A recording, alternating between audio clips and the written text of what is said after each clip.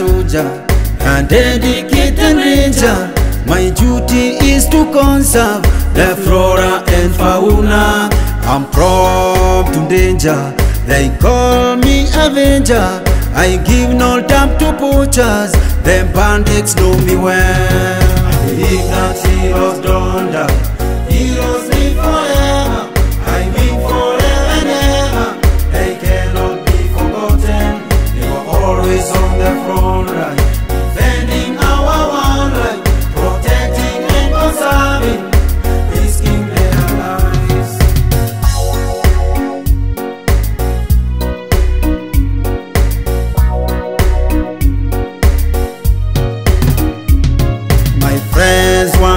Told me the hardest work of a ranger is tracking a poacher. I told him, I think you are right, but you have never experienced a ranger negotiating a human wildlife conflict. He went ahead saying that we only trained for six months, but is this true?